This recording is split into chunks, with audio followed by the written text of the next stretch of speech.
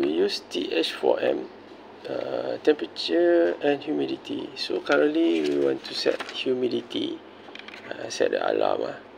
so set value 50% humid and upper than that 55% on lower than 45% it on so it's minus 5 value uh, sorry uh, add positive side 5 value add and then this one minus ah. Minus 5 value. So okay. So this one the parameter lah mode to time you, for now we we have a, a set value 50 celsius. And then for the humid we need to choose the humidity application or parameter. So output is uh, defrost. Uh, this one uh, later we show you so sensor error we set it on. So this one terminal output for the main output lah humidity lah. 3 and 4 for terminal setup lah.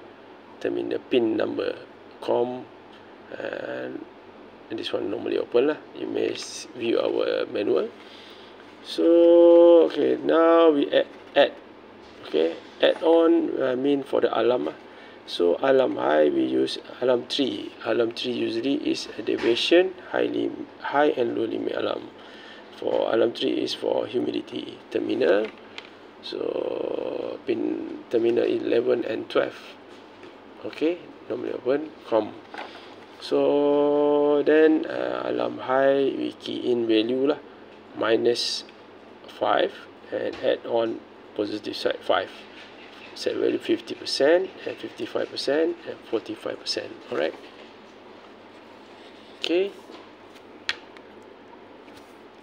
Okay now how go to the press, press parameter setting press mode to time. So we choose uh, humid lah to time. I mean first one is temperature now humid so I put here 50 percent lah and then after that press mode okay we go out first. In the parameter press mode 2 second. So press arrow up uh, arrow up. We go to humidity. And then after that we press mode. Defrost output is defrost. And then hysteresis uh, default. Uh, I change to 0.1 this one your delay output for terminal 3 and 4 delay output time uh, you can set how many uh, second lah. So I automatically lah set 0 lah default. This one uh, offset I n dash b your your humidity present value. So 0 lah equal your actual present value. This one sensor error so I enable set on. If disconnect your THD sensor is automatically will show open. Alright this one low set value as a default high set value as for default 0 to 100% lah, humidity.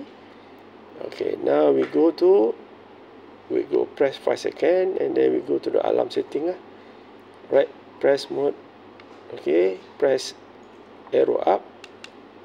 Immediately add add mean go to your alarm lah. press mode one time so this one input digital filter. So ALM-T is your alarm for temperature. Okay we go to ALM-S humidity. So I take uh, code ALM-3 deviation high limit high and low limit alarm. So I put alarm high I mean you set value alarm 5 5 plus 5 add uh, that's all. This one initialize ah. Alright so now we go into the actual parameter so we know it 50% is your 50% lower and upper humidity. Right okay. Lower than 45 now 46 automatically it will show alarm. AL2 lah AL2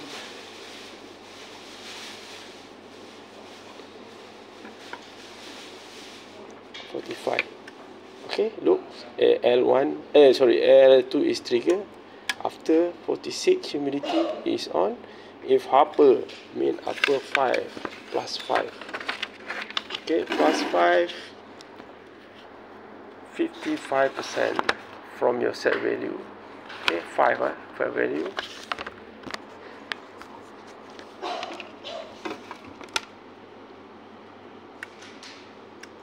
Okay 60 okay 60 ignore the output 2 lah. Later I show I explain. 55 okay now 60 63 okay we go 55 lower than 55 is off alright? Okay 53 within the range 45 until 55 it will off. Okay lower than 45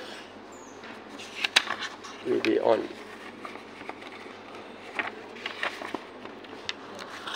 Okay will be on. Alright. Lower.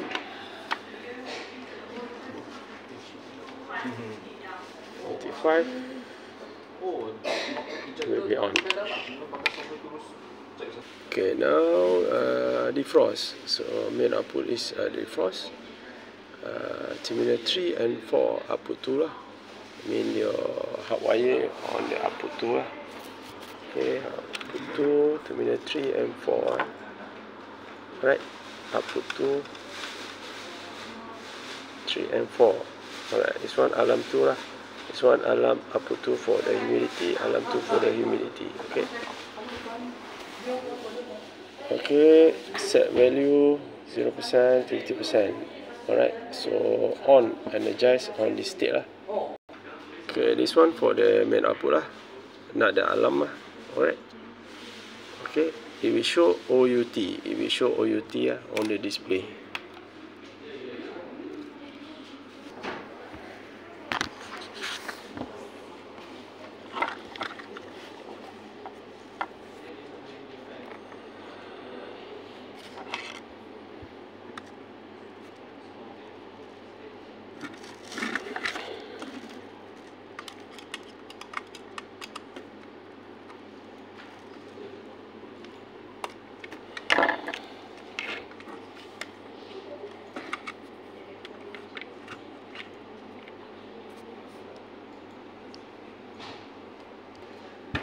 okay now uh, we saw how the sensor is broken or damaged uh, peel off wire damage or disconnected connected wiring.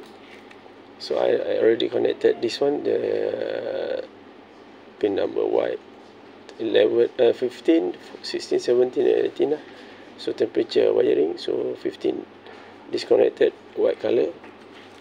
We show open okay this one. At the left hand so open. So put back.